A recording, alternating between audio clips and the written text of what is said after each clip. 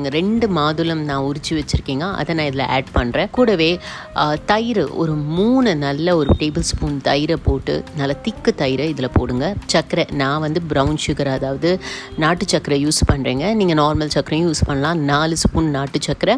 அப்புறம் ஒரே ஒரு ஸ்பூன் இது வந்து ஹோம்மேட் எங்கள் அம்மா எனக்காக ரோஸ் மில்க் எசன்ஸ் பண்ணியிருக்காங்க. நீங்கள் ரோஸ் மில்க் எசன்ஸை ஒரு ஸ்பூன் இதில் ஆட் பண்ணி நல்லா கட கட கட கடன்னு மிக்சியில் போட்டு அடிச்சிங்கன்னா அதாவது மாதுளம் லஸ்ஸி ரெடி ஆகிடும் இதை வடிகட்டி அப்படியே பசங்களுக்கு அவங்களோட டம்ளரில் பேக் பண்ணிட வேண்டியதுதான்.